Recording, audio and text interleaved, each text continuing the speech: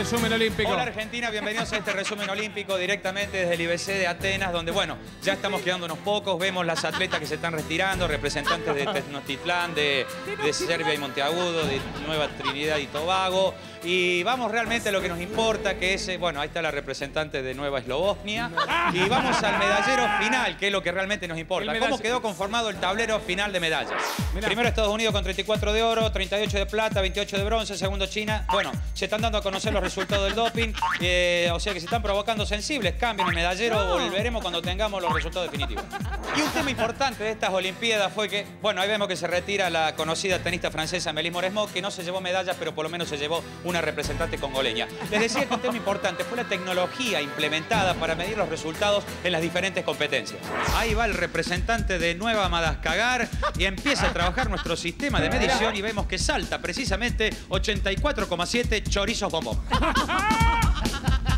Y ahora salto con garrocha, una de las disciplinas más difíciles de medir. Ahí va la representante de Hungría del Sur y vemos que su coxi pasa a 2 centímetros de la vara, a 5 flautines y medio del palo izquierdo, a 4 bolsas de Portland del palo derecho y saltó precisamente 3 bielzas y medio. ¿Qué lo parió?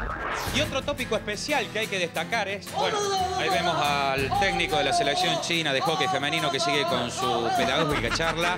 Eh, les decía que se ha conformado una especie de ranking de top 10 de las principales figuras que nos dejó este Atenas 2004. Sanja Klitoric, representante de Ucrania en gimnasia artística. Irina Tetaskaidas, representante de Grecia en waterpolo. Lucas Michael, primo hermano de George Michael en ping-pong. Angora Eriksson, gran bloqueador de la selección de vóley de Canadá del Norte y la selección femenina de fútbol 7 de Brasil, más conocida como las Peteriñas.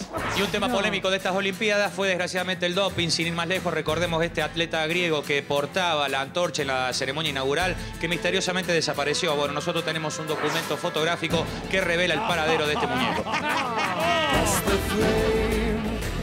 Y en cuanto al tablero general de medallas, bueno, ahí vemos que pasa el pesista estadounidense que hace 12 días atrás levantó 450 kilos de un solo envión y quedó así, según él, por los efectos de la vitamina que tomó. Y ahí vemos que va el doctor atrás con unos hermosos orines color fluo. Les decía que me anuncien que hay nuevos cambios en el tablero final de medallas. Vamos a ver cómo quedó conformado.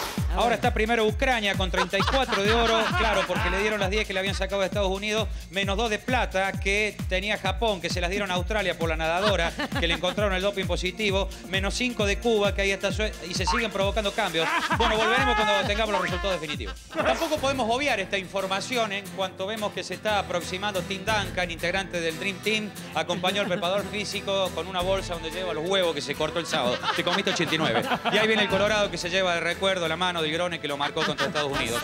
Les quería decir que queremos llevarle tranquilidad a los familiares de esta lanzadora de jabalina, Celine Salomon, representante de Trinidad y Que ya se encuentra totalmente recuperado.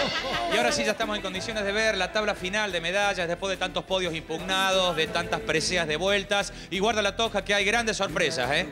Y atención que Argentina quedó primero con 84 de oro, 55 de plata, 111 de bronce. Segundo Uruguay, tercero Kazajistán y cuarto Andorra la Vieja. Y cerraron los comicios definitivos. Bien, y todo concluye al fin, nada puede escapar, todo tiene un final, todo termina. Y ahí vemos que, bueno, también se están despidiendo José Meolans y David Albandián. Gracias por haber venido, muchachos. Y nos despedimos con esta frase. Pekín 2008, allá vamos. ¡Qué bueno!